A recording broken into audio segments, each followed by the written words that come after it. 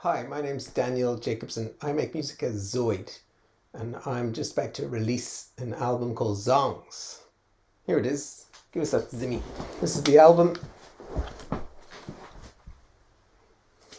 It's called Zongs. Features eight tracks, each one with a different singer. I'm going to tell you a little bit about it. So the tracks mostly started life here in my studio, and was created over a couple of years when we had a lot of lockdowns here, so mostly it was done remotely. Um, I'll go through the, the track list and tell you a little bit about who's on each track. Of collaborations on this album. So, track one is If There Were Words, a song that I wrote about eight years ago. And in 2020, I was looking for someone to record this song, and one of my students at the time, so I run a guitar school here in Dublin, Ireland, and one of my bass students, Lauren, was a great singer, and I asked her to record the song, and she did. We recorded it here on an SM58. Basic setup, and uh, turned out great. Second song is Fine Life. That one features an amazing jazz singer called Aoife Doyle, who I've known for a long time as we were both in the same school together, a few years apart though.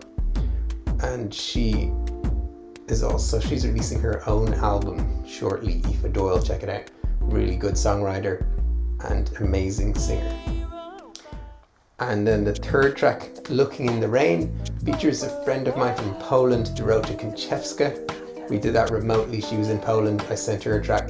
She sent me back the melody and the chords. Or sorry, the melody with the lyrics. She uh, wrote the lyrics based on a couple of friends of hers were fighting who'd been in a relationship for a long time. But they're so they're about that, but they're kind of hopeful lyrics, lovely lyrics, beautiful melodies, a jazzy song. Then Wish You is a song featuring Souza Ighodaro O'Brien, really great vocalist here in Dublin, and actor too, and film producer now. So look out for her stuff. Sometimes features my old friend Jenna Harris and collaborator. We've been we've known each other since we were about 13. We met in school and we've been in our first band together and played loads of music together, written loads of music together. I love sometimes. I wrote the lyrics for that. I sent them to her with the beat, and she came up with the melody and moved the lyrics around a little bit. And uh, also on that track, we have Ashling Ennis on harp, which is a beautiful, um, beautiful extra element in the track. And also the pots and pans sample is 20 years old. Me and my friend Nick Roth playing pots and pans in The next track is Static featuring Suzanne Savage, an amazing singer, another amazing singer from Belfast. Originally, she's classically trained and she sings jazz as well and writes her own stuff. Suzanne Savage. Check her out for sure. That song, I sent her the track. I she agreed to collaborate on the track. I sent her a track a couple of days later, and she sent me back a couple of days after that a melody with lyrics that she had based on, I believe, a recent breakup. That seems to be a hot topic for lyrics, breaking up. But that was uh, her.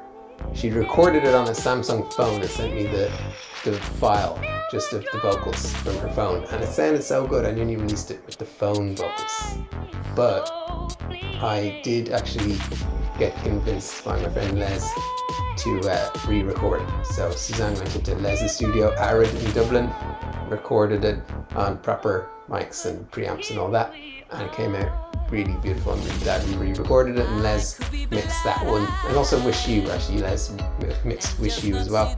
I'll tell you about the rest of the post-production and stuff at the end. What has it come? Featuring Sio, a very mysterious singer producer, artist, who was was part Irish, lived in Dublin for a while. She's not living in Ireland anymore, as far as I know, but she does release music. comusic.bandcamp.com. Amazing music. Check her out. Really glad she agreed to collaborate on a track. I love that track. It's one of my favorite on the album. Was Enter the Beach sent me back the parts of her voice that she recorded in one night. Came up with them and recorded them in one night. And then What Did They Know? I collaborated on that for a few weeks with Miriam Ingram. We bounced files back and forth. Miriam's an amazing singer. Another one, singer, songwriter. She does her own stuff, miriamingram.bandcamp.com. Check her stuff out. It's great. It's like the Irish Kate Bush in a way. Loads of harmonies and really interesting singing. We're going to do more stuff. And that is all the singers on the album. And what did they know? The last one, uh, there's a cello part if you listen carefully, you can hear Cello Part by Kate Ellis, one of the best cello, player, cello players in Ireland, but she might be back in the UK now. And uh, after I recorded all the tracks and the singers recorded their parts and had all the parts and I was mixing them, then I got Liam Grant to master the album. And during that process, we really, really remixed and co produced quite a few of the tracks. We took everything apart, he mixed the stems, it did a lot more than just mastering it. The album sounds the way it does. It's the lead and some part to less.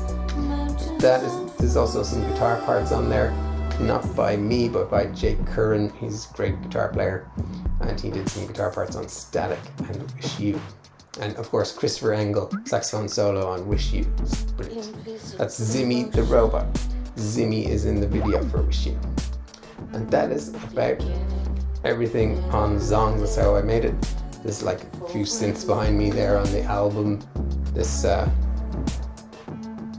Eurorack setup, basically mostly a drum machine that is on a few good few tracks on the album. So check it out. Hope you enjoy it. And thanks Music of the Future for having